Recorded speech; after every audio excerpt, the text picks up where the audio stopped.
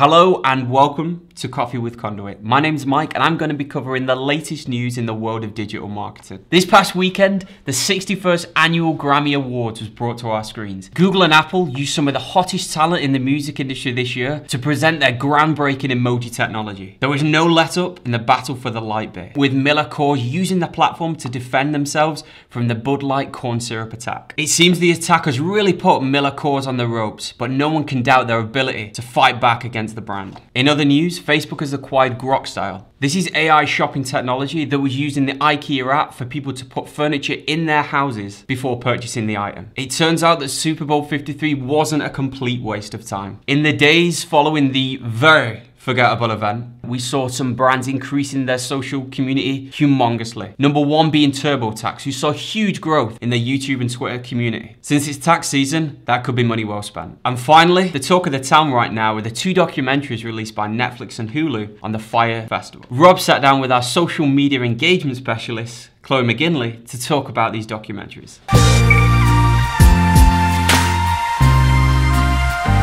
All right, and welcome to the first interview with Coffee with Conduit. Today we're going to be talking about the Fyre Festival, in particular the two documentaries that just launched on Hulu and on Netflix. The documentaries dive into the Fyre Festival produced by Billy McFarland, uh, the excellent marketing that went into it, and then the utter failure that the festival ended up being. Uh, to talk about this, we have our social media engagement specialist, Chloe McGinley. Hello. Chloe, so you, you actually told me to watch both these documentaries. I did. I'm glad I ended up watching the Hulu one as well. It, it gave a really unique uh, aspect compared to the Netflix one. What were your take? Yeah, I think you definitely have to watch both of them. Um, they're definitely complement each other and while they tell the same kind of story they give a little bit of a different perspective. I was a little hesitant with the start of the hulu one because it started to get into the whole millennial conversation. Yeah. And if this festival got blamed on millennials that would have really soured the documentary.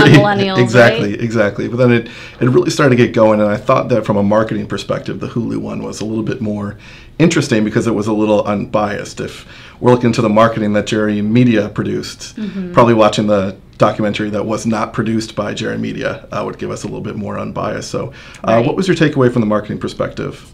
Um, well, I thought, if anything, the one thing that did go extremely well with this festival was the marketing. Um, from that uh, first promotional video, you know, with the models frolicking on the beaches in the Bahamas, um, and everything down to their influencer marketing campaign. It worked, it went viral, and they ended up selling out their festival.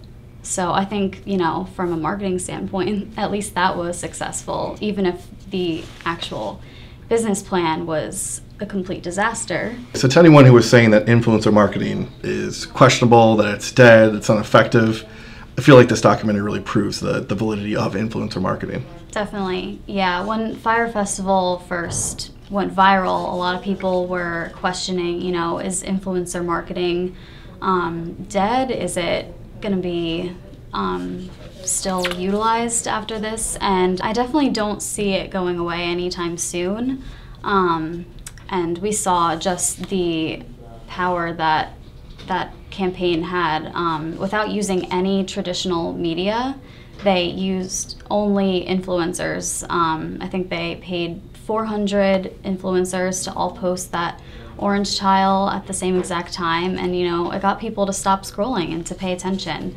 Um, Kendall Jenner was paid a quarter of a million dollars just to post one post about Fyre Festival. Um, so, so on a local level, uh, the you know the clients that can't pay Kendall Jenner a quarter of a million dollars right. to make a post uh, is influencer marketing still an option for them? How, how do they reach out to these people? Definitely. Um, you know, there's the macro influencers, the biggest ones like Kendall Jenner, Bella Hadid, who were in that promo video. But um, on a micro, local scale, we have micro influencers who are actually very um, effective from a marketing standpoint. Um, and even though they have a smaller following, a smaller online community, it's a very engaged community. And they tend to see those influencers as more credible than some of the larger influencers because of their smaller following. You know, the followers have a closer connection to them. They feel like they're, you know, friends with them rather than uh, a celebrity. One thing I found very interesting was the power of the orange square. That, that's such a unique idea. What what's the philosophy behind that, and why did that work so well? Um, I think just the fact that it was that one simple, bright color, no text, no image or anything, and the fact that it was all posted at the same time, it got people to start talking about it to, um, you know, stop scrolling their feeds and say, "Wow, what is what's that? What's going on with that?" Um, So just a great example of thumb-stopping creative, disruptive Yeah. creative. Uh, I think that's something that can really be done at the local level as well. Uh, when when you're posting, and I think especially on social, that generic canned this is my social post mm-hmm. type thing re- really just ends up being scrolled past and that's almost got no value to it. When you're talking as if you've got a personality when you're doing something that just breaks the norm i think that's where the engagement really starts to happen from what i've seen. And the fact that this orange square posted 400 times mm-hmm. launched this festival that billy really arrogantly said so much had to go right for it to be this big of a failure i think the orange square really launched kind of what went right with this and created such a brand around this festival for it to become as big of a failure as it was.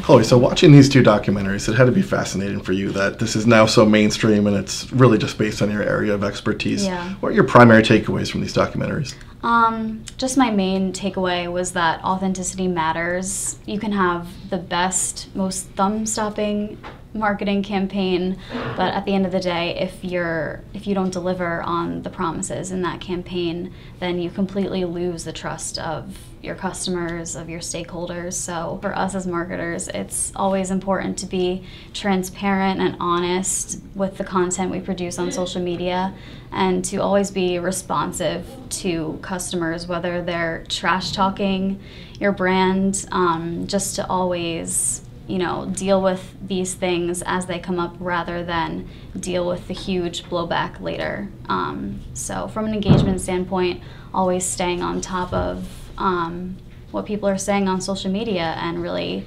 addressing and solving the problem before it turns into a Fyre festival.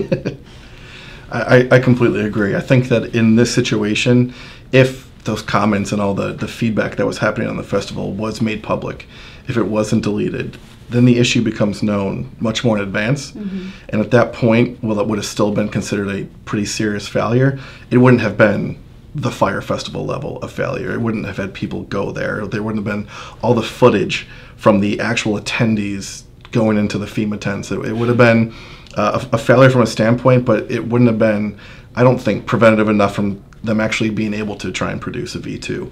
Whereas now they're banned from producing any festivals for Right. X amount of years, you I know, think they in that area. so many chances to save it, kind of, um, just by being honest and upfront with their customers and saying, this is what is actually going on, and um, you know, allowing people to then make the choice if they still wanted to come.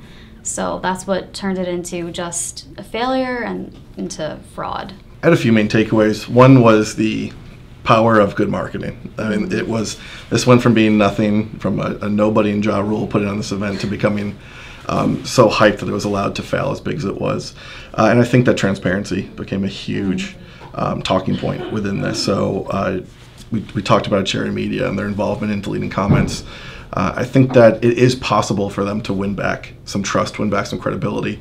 I know they just put out a press release indicating uh, some of their new practices that they have to really take a look at, and that they mentioned that it's no longer attribution, uh, you know, being enough. It's now going to be permission based.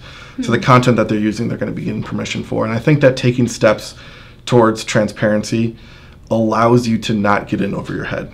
So if they were transparent in this process, uh, it would have been exposed for what it was, but Jerry Media wouldn't have been at fault in any capacity. Uh, it would just be on Billy McFarland in terms of that festival. Uh, but when you try and cover up, it turns into a snowball, and that's really resulted in uh, a very big failure for them. So I, I think they can come back. I think they're taking steps uh, towards coming back. Um, in, in a pretty good way. Uh, but I think that the transparency, the trust, the credibility, these aren't just words. They come off as buzzwords uh, a lot. People chuck these around. But when it's hard to do is when it really, you know, kind of comes out. So it was hard for them to, you know, allow these uh, kind of comments to, to come through, especially when you've got a very large client, you know, asking you to delete them. But that's where you have the opportunity to kind of put your money where your mouth is. If you want to talk about being a transparent agency, don't be the one that's you know being un- untransparent behind the scenes. So, uh, to me, I think that the the trust, credibility, and transparency. Uh, this was such a huge example of this, but that this happens at the local level too. Uh, so when you're dealing with uh, any social media accounts, when you're dealing with with marketing for these local businesses, these virtues still come through very strong uh, as well. So to me, the takeaway of this was just uh, be honest, be transparent, you know, be creative. So they they crush in the first part by this super creative thinking. If they follow that up with you know transparency, then they're just the awesome marketing team. But but for me, it was just kind of a the shadiness of Billy McFarland pulled everyone in, and, and that's what resulted in this this failure. But I did see that Jerry Media um, donated um, what they made from the festival to the Bahamian people. So I think yeah. that was a good move on their part. Um, definitely being socially responsible um, in response to their involvement in the festival. Excellent. All right, so a big thank you to Chloe McGinley for joining us today on Coffee with Conduit, the inaugural episode. Thank you for watching. Uh, please go to the comments section. Let us know what your take on the Fyre Festival documentary was. Let us know what other topics you'd like to discuss. If you want to learn more about Conduit, check us out on Facebook. Subscribe to the YouTube channel. We've got new content coming out three times a week. Uh, we hope it's going to be really engaging. We hope to hear from you. Uh, we look forward to keeping this going. So we look forward to a lot more great episodes of Coffee with Conduit, and we'll see you next week.